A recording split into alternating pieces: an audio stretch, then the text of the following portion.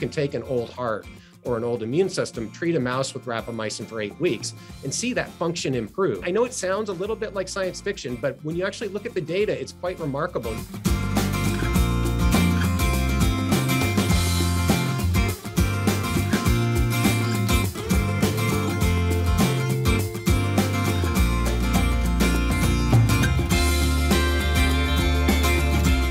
Hasn't been tested in the context of lower doses in otherwise healthy people, there really are very, very little in the way of side effects and potentially pretty significant benefits for age related functional declines and diseases.